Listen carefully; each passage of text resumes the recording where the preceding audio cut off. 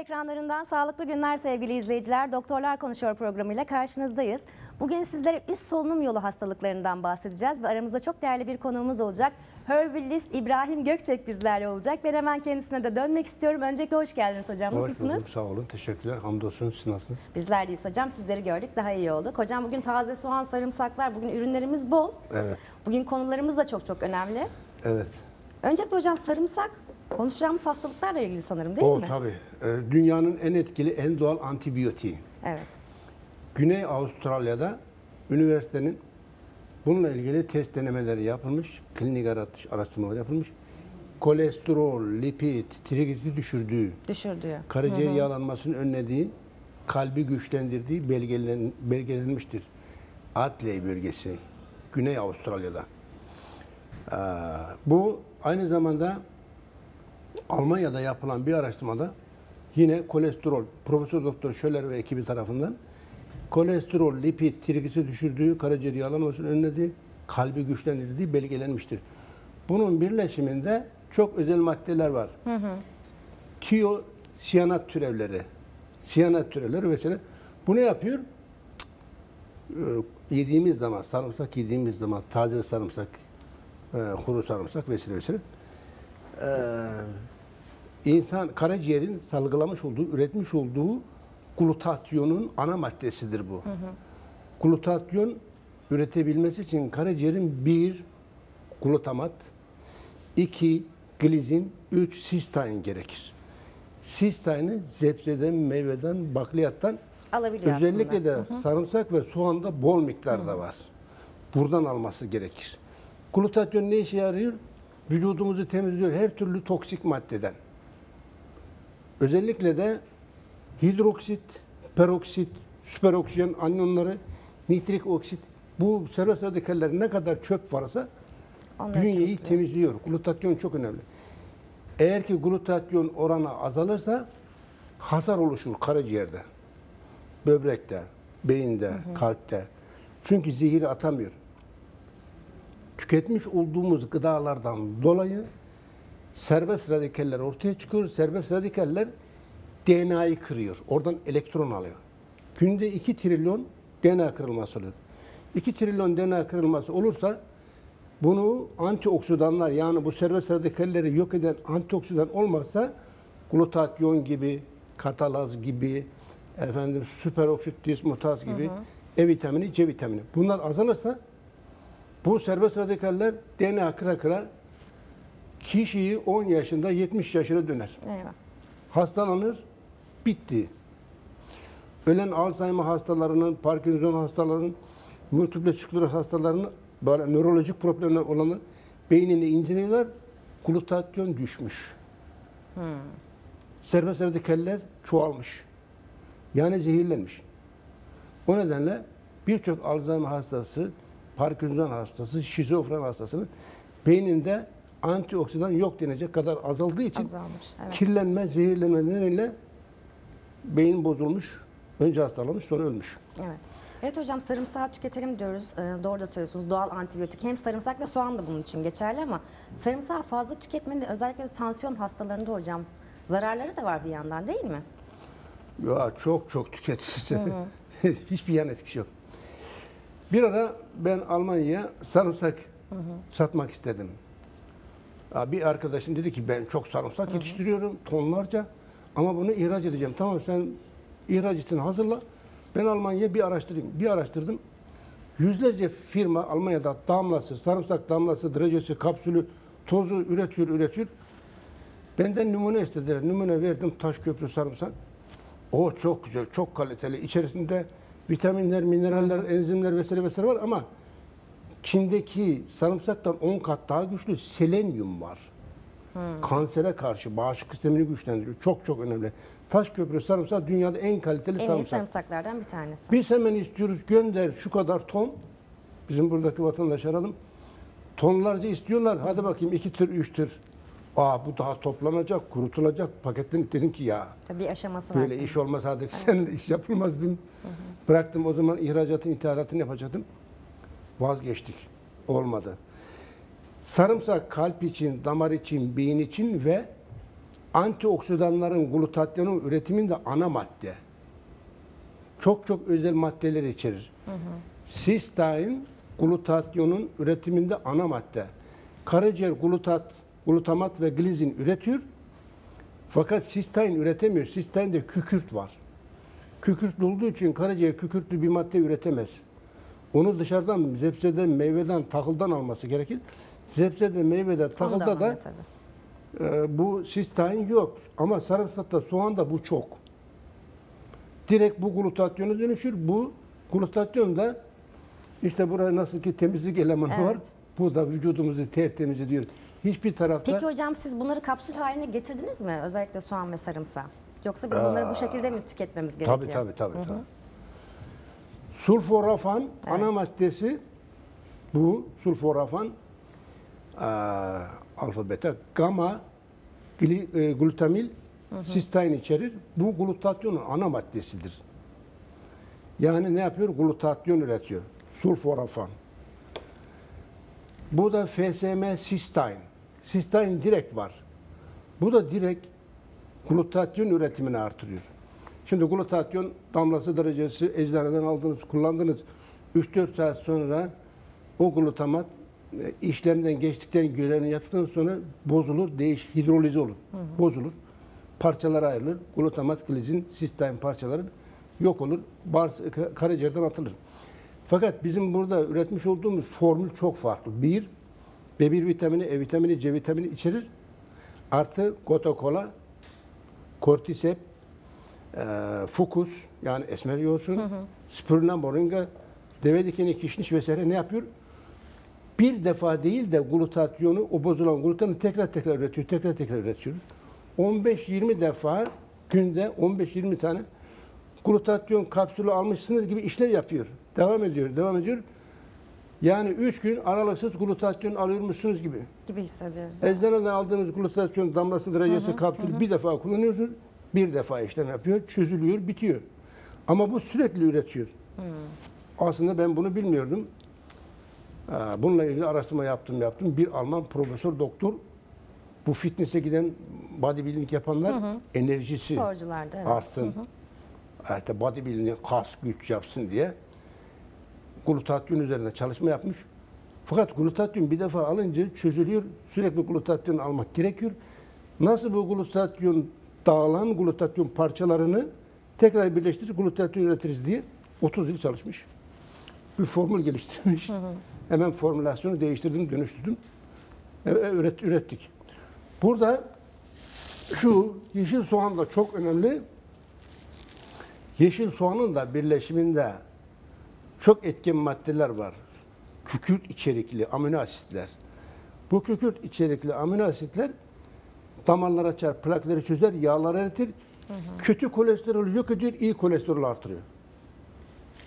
Şimdi bununla ilgili İngiltere'de yapılan bir araştırmada efendim kalp damar zafiyeti olanlar sürekli ve düzenli günde yarım soğan yese kalp damar rahatsızlığı kolay kolay olmuyor.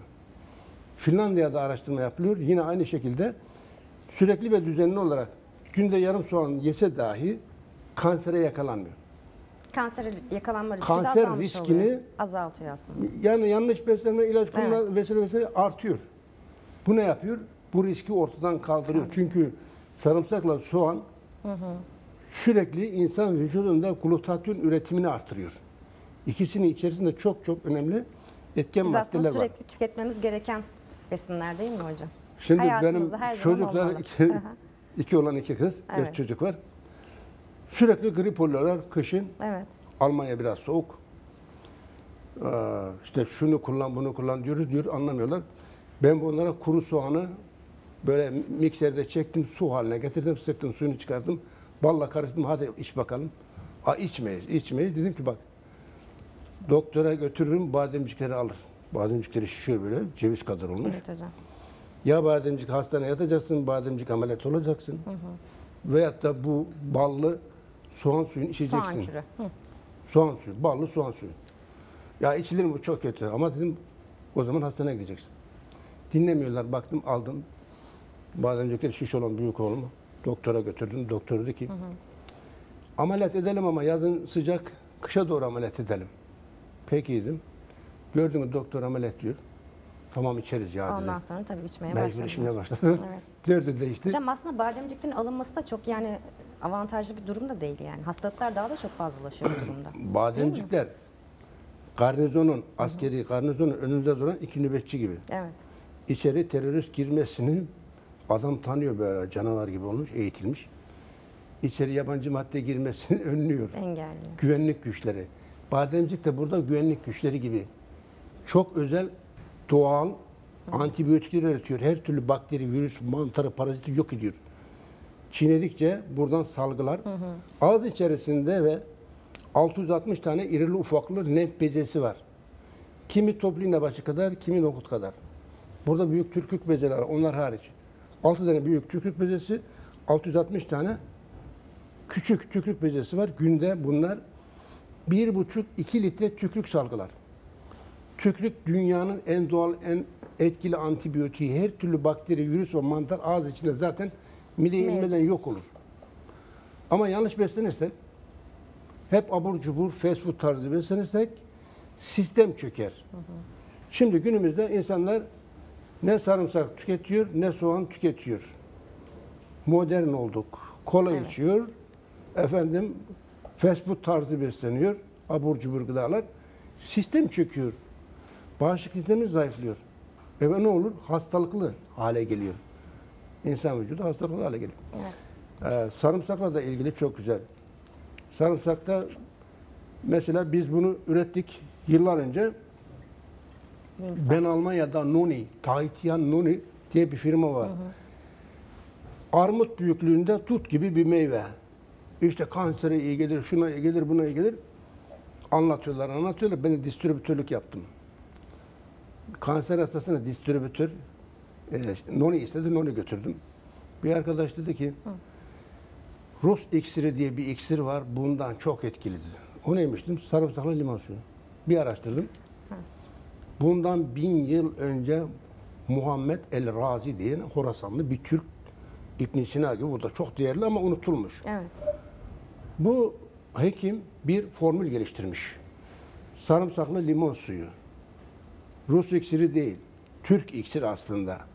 Ama Bildiğimiz sarımsak, Kafkaslar'da limon, yaşayan evet. Türkler, Hı hı. soğuk bölgede yaşayan Türkler kullanmış. Bozulduğu, küflendiği için sıcak bölgede yaşayan Türkler kullanmamış. Soğuk bölgedekiler kullanmış. Daha sonra Ruslar da arasında yayılmış Rus iksiri olmuş. Bu dedi kansere diye gelir, her şeye gelir. Dedim ki bu bozulur. Bozulur. Yani bozulmasını önleyen etken madde nedir? Ben bu kadar biliyorum. Araştırdım ki geliştirilmemiş. Yani günümüzde buzdolabına koyuyorlar sarımsaklı limon suyu yapıyorlar, içiyorlar. Fakat küflenme riski var.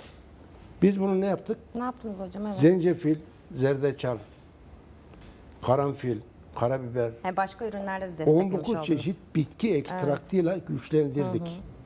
Şimdi bunun bir çorba kaşığını içemezsiniz. Zehir gibi acıdır. Çünkü ekstrakt dolu. Bir çorba kaşığı yarım bardak suyla karıştırıp içiyorsunuz. Bu miyom, kist, nodül, yağ bezi, tümör ne varsa eritir. İnsan vücudunda ne varsa. Kansere karşı dünyada en etkili ürün. Yıllar önce benim büyük oğlum bademcikleri şişmişti yine. Hastaneye götürdük, getirdik. Dedi ki doktor sonra ameliyat ederiz. Ben buna dedim içeceksin bunu, sarımsaklı limon içeceksin, içeceksin. İçmem, içeceksin. Neyse zor ikna ettik. Çocuk bunu kullandı. 6 hafta sonra burası ağzı, yüzü hep uçuk oldu. Hanım dedi ki ne yaptın Neden sen çocuğu ne Evet. perişan ettin. Sinir kökündeki virüsü dışarı attı. Ben Allah'ın işi tesadüfen buluş yaptım hem de dünyanın en büyük buluşunu Yani yaptım ne dedim. size hocam evet. Tesadüfen buldum. Deneyler yapa yapa. Çünkü beyinden kuyruk sokumuna kadar uzanan omuriliğin içinde sinir demeti var. Spinal cord denir. Bu herpes virüsü, herpes labiales, uçağa sebep olan virüs, yaralar evet. herpes genitales, zo- zona virüsü, birçok virüs sinir kökünde yaşar. Genital bölgedekiler L3, L4 genellikle burada olur. Diğeri hemen boyunda olur. Çocuk bunu uzun süre içince, içtiğinde ağzı yüzü hep yer oldu. Dedim ki panik yok. Bir hafta sonra kuruyacak, hiçbir şey kalmayacak. Kalmayacak. Çünkü sinir Ama kökünden aslında bu dışarı durumda attı. da evet tamamen atmış oldu değil mi hocam? Tabii, tabii. Evet. Sinir kökündeki hı. attı. Çocuk diğer arkadaşlar yanında zayıf, cılız, çelimsiz, Evet. büyümüyordu bir türlü, boyu uzamıyordu. Bu çocuğun ne olacak hali diye korkuyordum. Maşallah raket gibi uzadı gitti. Maşallah. Boyu bir kafa benden şimdi yukarıda. Evet. bir 85. Evet hocam. Yaz ayları da gelmeye başladı. Ee, mevsim geçişleri oluyor ve bu mevsim geçişlerinde biz birçok hastalıklarla karşılaşıyoruz. Özellikle hocam faranjit, alerjik durumlar, ses kısıklığı. Bu gibi durumlarda hocam siz ne gibi tedaviler uyguluyorsunuz? Aa, tabii. Şimdi ekinezya, ekinezyanın evet. dünyada bilinen 1050 türü var. Ekinezya angustifolia, uzun yapraklı ekinezya, ekinezya purpurea, pembe çiçekli ekinezya, ekinezya pallida, renksiz ekine. Ha burada görüyoruz. Evet. Ekinezyanın bilinen 1050 türünden sadece 3'ü tıbbi amaçla kullanılır. Bunun yaprağı, çiçeği, kökü her şeyi kullanılır. Pro- Doktor Maya denen bir Amerika'daki Doktor Maya e, Kızılderililer arasında gezerken bakıyor ki bir gencin 10-12 yaşında bir çocuğun ayağı yara olmuş, açık yara. Yaşlı bir Kızılderili bu ekinezyayı topluyor. Köküyle beraber havanda eziyor. Çocuğun ayağına sarıyor. Ne yapıyorsun sen diyor. Bunun ayağını iyileştireceğim bununla. Bununla mı iyileştireceğim? Ekinezya. Yarayla iyileştireceğim. Nasıl iyileştireceğim diyor. E, iyileştireceğim göreceksin birkaç gün. sonra Bir şey kalmaz diyor. Takip edebilir miyim? Et diyor. Adam takip ediyor tabii ki. Bakıyor ki gerçekten açıncı kadın yaralar iyileşmiş. İyileşti. Başka ne işe yarar diyor. Şuna yarar, buna yarar. Anlatıyor, anlatıyor. Aa iyiymiş diyor. Ben özellikle bunu biz kış aylarında hocam soğuk algınlıklarında ekinezya çayını çok tüketirim. Özellikle ben de çok Tabii severim. tabii. Ee, bunun destilasyonla damatılarak elde edilen ekstraktı bitkinin yaprağından, çiçeğinden, kökünden tabii ki 40-50 kat daha güçlü. Komple. Bunun birleşiminde çok vitaminler, mineraller, enzimler var da özel bir pro, polizakarit var. Bu makrofajı harekete geçiriyor. Makrofaj Nedir? hücreler arasında ve kanda dolaşan özel güvenlik, özel tim. Bu ahtapot gibi. Kolları var. Böyle sümüksü, yapışkan. Kollarını atar böyle şak diye. Bakteri, virüsü, mantarı yakaladım yer, yutar, parça parça eder, yok eder. Evet. Uzaktaki bakteriye ise mantar, virüs ne olursa olsun ona Y şeklinde, T şeklinde antikor fırlatır. Saplandığı zaman ölür. Onlara karşı korur. Evet hocam. Daha uzaktaki mikroba ise kainatta bunu yapan tek varlıktır bu. Hücrelerde dolaşan. Makrofaj fakosit de denir. Öldürücü hücre, kiler selin. Bu oksijeni tek moleküle dönüştürür. Roket gibi, füze gibi ateşleme yapar. Uzaktaki mikropları da oksijenle yakarak yok eder. Kainatta bunu yapan tek varlık. Oksijeni ateşleme yapıyor. Makrofaj, bu makrofaj normal zamanda yüzde beş tempo ile çalışır. Yüzde 95 uyku modunda. Tembel, yatıyor. Bunu limsa harekete geçirir, ekstrak bu ekinezi harekete geçirir. Harekete geçtiği zaman yüzde yüz full tempo ile harekete geçir.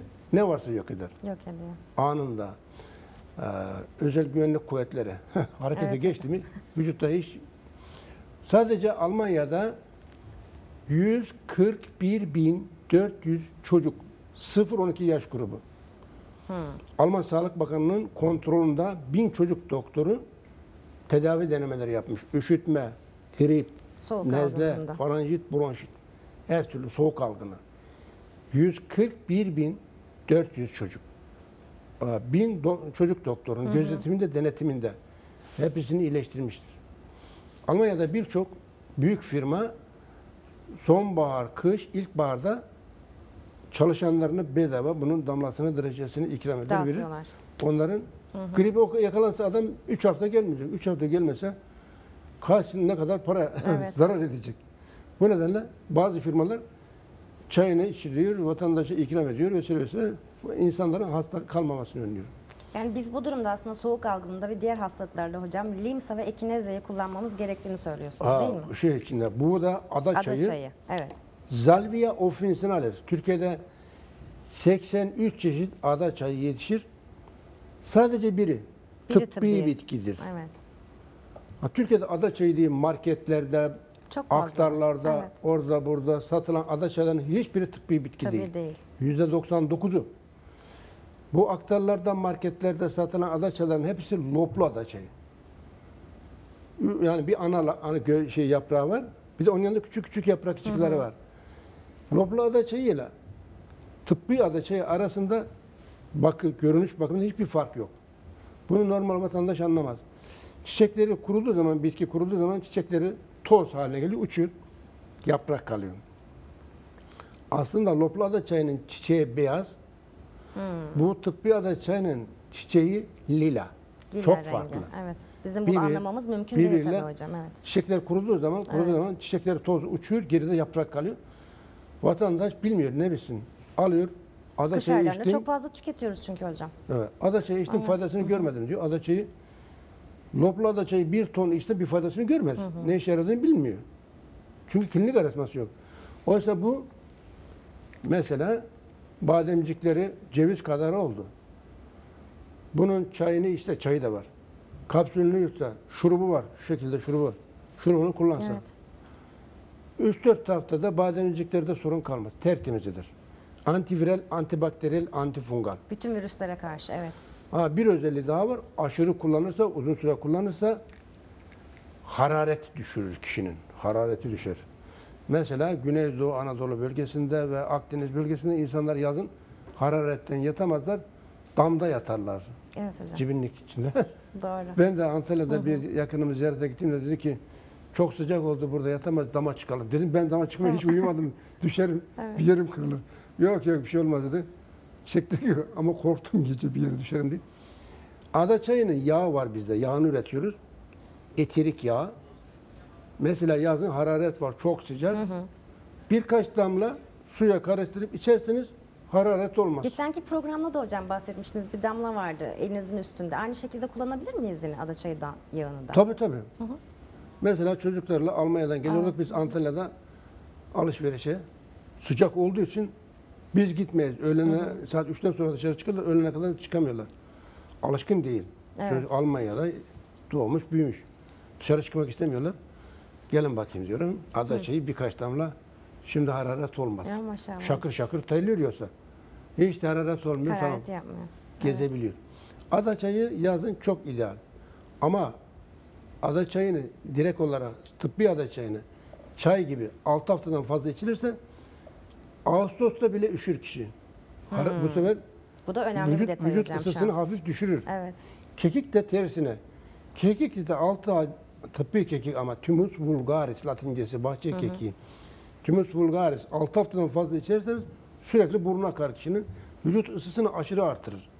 Ve hafif de tansiyon yapar. Tabii bunlar tıbbi olanlar için konuşuyorsunuz zaten değil Tabii, mi tabii, hocam? Tabii. Mesela ada çayını ben sürekli içerim. Özellikle soğuk algınlığı yaşadığım zaman. Hiçbir etkisini görmedim sadece boğazlarımda ama siz de şimdi bahsetmiş olduğunuz tıbbi ada çayı değil o zaman hocam kullanmış Değil, olduklarım. Şimdi mesela Hı hı. Türkiye'nin Marmara, Ege, Akdeniz bölgesi dağlar, taşlar hep ada çayı. Ada çayı. Ama hiçbirisi tıbbi ada çayı değil. İşte evet, tıbbi onu da ada bizim- çayı özel yetiştirilir. Türkiye'de birkaç tane çiftçilikte bu işle uğraşan tıbbi bilgi yetiştiren kişiler var. Biz onlardan alıyoruz. Yoksa her yerden alınıp kullanılmaz. Alınmaz. Evet hocam yavaş yavaş programımızın sonuna geliyoruz ama hemen ben şu çam kozalağını da Çam sormak istiyorum kozalağı size. şurubu. Üşütme, grip, nezle, boğaz ağrısı vesaire çocuklar içemeyen mesela kapsülü glutamin çocuklar için ideal.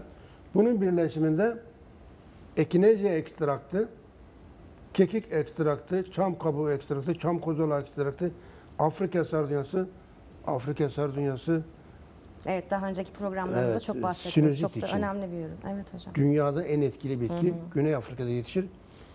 Bin, e, 1100 çeşit sardunya türü var ıtırgillerden. İkisi tıbbi amaçla kullanılır. Pelargonium zidioides, Pelargonium reniforme. Diğerleri kullanılmaz. Ben bu bitkinin fotoğrafını çekebilmek için Dresden'e aradım botanik bahçenin müdürüne. Sizde bitki var mı? Dedim var. Gelebilir mi? Gelebilirsin. Fotoğraf çekip çeker. Dresden'e uçakla gittim. Adam müdür beni görünce şaşırdı. Dedi yetişmiyor, ki evet. sen bir bitki fotoğrafı çekmek için buraya mı Evet geldin? hocam. Evet dedim. Bu benim aşkım. Evet. bitki. Benim Herkesin işim, bir hastalığı var. evet. Benim de hastalığım bu dedim. İyi peki dedi. Özel bir kart verdi. 350 tane çok faydalı oldu. 350 bitki fotoğrafı çektim. Çok güzel botanik bahçeleri var. Frankfurt Üniversitesi'nin botanik bahçesi var. 30 kişi çalışır. Bir tanesi 5 dakika dahi kaytaramaz işini yapar. Ege Üniversitesi'nin de botanik bahçesi var. 30 kişi çalışır. Bir kişi hariç diğerleri konunun uzmanı değil. Orada çalışanların hepsi botanik uzman. Uzman. Burada çalışan eşi dostu az aracılığıyla girmiş işe. Herkes birbirinin Sabah kahvaltısından getirmiş. sonra bir sadece mühendis kalır orada. Ya. Diğerleri hep arazi olur. Hiçbiri çalışmaz. Evet hocam. Türkiye'de botanik bahçede 29 kişi çalışmaz. Bir kişi çalışır. Orada 30 kişinin 30'da çalışmak zorunda. Yoksa bir gün sonra işinden olur. Ya. Evet. Türkiye böyle, Almanya böyle. Maalesef hocam. Ama Hocam biz çam helalinde mi kazola kazanalım? şurubunu gez- e, özellikle de pandemi döneminde çok Üşütme, Kullanıldı değil grip, mi hocam? nezle, pandemi, Çok viral enfeksiyonlara yani bu karşı dönemde. bunu her türlü viral enfeksiyona Evet. karşı fark etmez.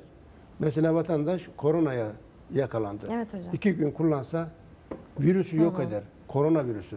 Şimdi mesela yeni virüs çıktı. Kuş Ya gribi. Kanada'da 1 milyon 700 bin kanatlı hayvanı tavuk, ördek, kaz, hindi ne varsa yok ettiler. İnşallah yayılmaz. İnşallah hocam. Şimdi küreselciler insanları gelmez. aç bırakarak terbiye etmeye çalışıyorlar. Çünkü küreselcilerin hedefi amacı çips takmak herkese çips. çip takacaklar. istiyorlar. milleti oynatacaklar. Evet. Allah Hocam yardımcısı. ben hemen diğer ürününüzü de sormak istiyorum. Udi hindi yağı. Aa, Ulu hindi bu Malezya, Endonezya, Tayland, Tayvan, Kamboçya, Laos gibi ülkelerde yetişir. 30-40 metre boyunda bir ağaç. Bunun kökü Türkiye'de yetişmiyor hocam. yok. Bir profesör doktor çıkmış televizyona diyor ki Ulu hindi yüksek dağların tepesinde kayalık bölgelerde yetişir. Hoppala. 30 metre boyundaki ağacı aldı okus pokus bir ot. Papat, papatya gibi bir bitki yaptı. Bu konunun uzmanıyım diyor. Profesörüm doktorum dünyadan haber yok. Ben gittim Malezya'ya gördüm. Resminde çektim. Ee, Bunun kökü her türlü kansere karşı Profesör Doktor Haşim ve ekibi Kuala Lumpur Malezya'nın başşehri Kuala Lumpur İstanbul Üniversitesi Tıp Fakültesi'nde Profesör Doktor ve Haşim bayanlardaki meme kanseri, akciğer kanseri, mide kanseri, kolon kanseri, pankreas kanseri, lösemi, beyin tümörü, aklınıza gelen her türlü kanseri iyileştirir. Evet, en ciddi hastalıklarda özellikle. Ama biz bunu özel bir yöntem ürettik. Normal e, suyla veya karbon şeyle alkolle ekstraksiyon değil bu. Karbondioksitle süperkritik. Türkiye'de süperkritiği ilk biz kurduk. İlk biz çalıştırdık. ne mutlu size hocam. Süperkritik Evet. başka kimse de yok. Sadece bir iki üniversitede böyle laboratuvar tipi var. Aa, çok maliyetli bir şey ama. Evet. Ve Elhamdülillah. ormuslarımız da çeşit çeşit değil mi hocam? Hepsi farklı farklı. O tabii bu ormuskop beyin için. Unutkanlık, hafıza zafiyeti, anksiyete, panik atak. Beyinde tadilat, tamirat yapar. Tüketmiş olduğumuz gıdalardaki kimyasallar veya kullanılan kimyasallar bir kısmı beyin bariyerini geçirip beyinde alümi, yavaş yavaş depolanır. Özellikle de alüminyum. Bugün tüketmiş olduğumuz bütün gıdalarda alüminyum paketleniyor. Ambalaj, cips, jelibon, kek, gofret, çikolata vesaire hepsi Maalesef alüminyum hocam, ambalajlı. evet. Alüminyum gıdaya geçiyor, gıdadan Evet. beyne geçiyor. Hatta bazı restoranlar alüminyum kaplarda yemek getiriyorlar. Evet. Ne oldu? Vatandaş Bu evlerimizde kullanmış olduğumuz alüminyum folyolar da çok zararlı bu durumda hocam. Evet. Değil mi? Bazıları da yemeklere Evet. e, İngiliz, Çin, Çin tuzu katıyorlar. E, vatandaşın biri geldi. Dedi ki 3-4 ay öncesine kadar çok çok iyiydim. Ama şimdi hafızam sanki gitti. Alık alık bakıyorum hiçbir şey anlamıyorum dedim. Evet. Dedim ki sen Çin tuzu mu kullanıyorsun dedim. Nereden biliyorsun dedi. Hanım ara restoran da açtım dedi. Çin tuzu kullanıyor. Şu an Zarar, neredeyse yerli bir şey kalmadı zaten zararlı hocam. mı bu Evet. dedi. Zararlı da tabii beyni boşaltıyor. Magnezyum şey, neydi ya? MSG. Monosodyum glutamat. Çok tehlikeli Çin tuzu. Çinler mesela bugün yemek yaptı. Yarına atması gerekir. Çöp. Ona O Çin. Çin tuzu serpiyorlar. Taze yapılmış yemek gibi yiyorlar. Yediriyorlar Kaç gün vatandaşa. bir de, O evet. nedenle Çin restoranına gitmek beyni bitirmek demektir. yavaş yavaş Çin restoranına çok merak ediyor. Bazıları gidiyor. Allah korusun çok tehlikeli. Hocam Çin- çok teşekkür ederiz. Çin res, par- pardon özür dilerim. Çin, Çin restoranı restoranlarını da hastalığı, kızdırmayalım sendromu. hocam değil mi? Çok tehlikeli. Hocam çok teşekkür ederiz Sağ vermiş ol, olduğunuz rica değerli ederim. bilgilerden dolayı. Ağzınıza sağlık, ayağınıza sağlık. Sağ olun. Teşekkür Evet sevgili izleyiciler, İbrahim Hocam'la programımızın sonuna gelmiş bulunmaktayız. Bir dahaki programımızda görüşmek dileğiyle. Sağlıklı kalın, hoşçakalın.